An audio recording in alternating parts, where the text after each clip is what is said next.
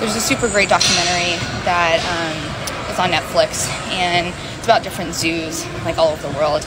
I was out in Charlotte the other week with my sister, who uh, just recently became pregnant, so we were celebrating, and you know, we were watching this show, and we got to this part about the gorillas and how the um, male silverback gorilla um, he was taught every single day, several times a day, to consent to putting his arm up against the grate so that way he could get a shot um, and then he'd get a tasty treat afterwards. Um, and my sister, she was like, oh wow, like that's kind of what you do with dogs. Like, do you, um, you know, that must be so much easier working with dogs than with gorillas. And I was like, absolutely not.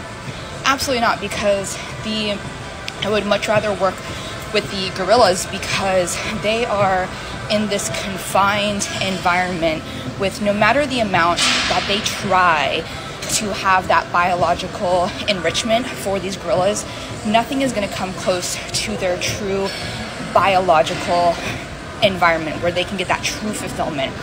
And so they're in this place where, you know, the only stimulation that they're really going to get is the interaction with these humans and playing their silly game.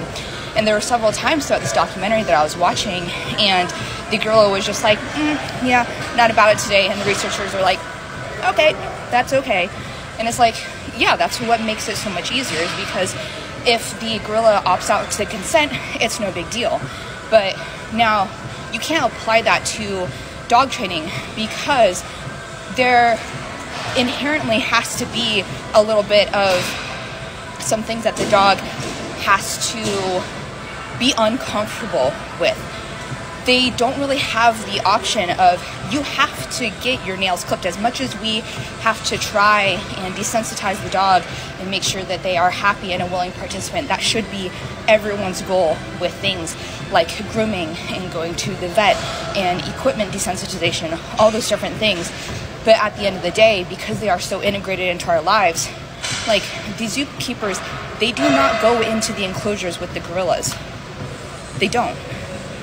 These dogs are living in our homes, they're sleeping in our beds, they're on the couch next to us. And so when it comes to things like consent, they're the gorillas that are in these enclosures or just zoo animals in general, they are so devoid of stimulation. It's like, might as well fucking interact with this human asking me to do wonky shit because there is no other stimulation. And if they consent out of it, it's like, whatever, we can't do anything about it. Whereas dogs and human dynamic, we don't always have that privilege.